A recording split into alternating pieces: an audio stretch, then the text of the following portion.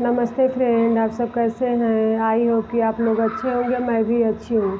आज मैं आलू की कचौड़ी बनाऊँगी और उसकी रेसिपी आप सबको बताऊँगी। चलिए शुरू करते हैं।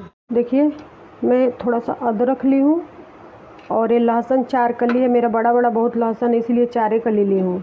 और एक हरी मिर्च ली हूँ और इसको मैं दरदरा पीसूँगी। ये मैं दो उबला हुआ आलू ली हूँ मीडियम साइज़ के।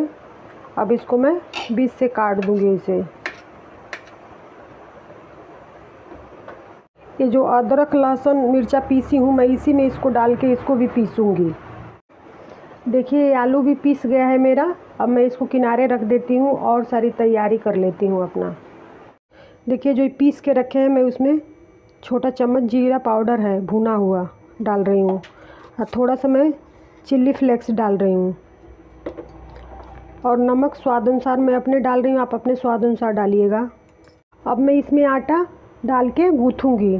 थोड़ा थोड़ा आटा करके गूँथूँगी। देखिए, इसमें मैं धनिया का पत्ता भी डाल रही हूँ। इसी में गूँथूँगी। मैं इसमें एक चम्मच रिफाइंड डाल रही हूँ उसके बाद मैं इसको गूँथूँगी। देखिए आटा बहुत गीला भी नहीं करना है, बहुत टाइट भी नहीं करना है।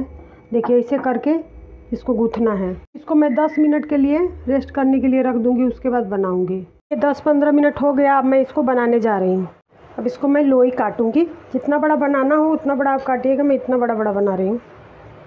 देखिए, अब मैं अब इसको घी लगाई हूँ और बेल रही हूँ। चाहे तो आप आटा भी लगा सकते हैं सूखा। देखिए, मैं बेल ली हूँ। अब मैं इसको बना रही हूँ। इधर मेरा कढ़ाई भी गर्म हो गया है। मैं इसमें रिफाइंड डाली हूँ। ये भी गर्म हो गया। अब मैं डाल रही हूँ। देखिए, मेरी कचौड़ी कितनी अच्छी फूल रही है। अब मैं इसको पलट रही हूँ।